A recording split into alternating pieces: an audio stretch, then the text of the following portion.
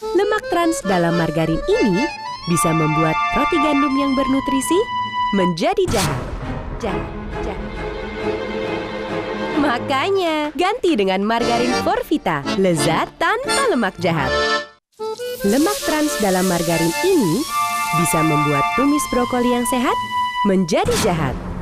Jahat, jahat. Makanya, ganti dengan margarin Forvita, lezat tanpa lemak jahat.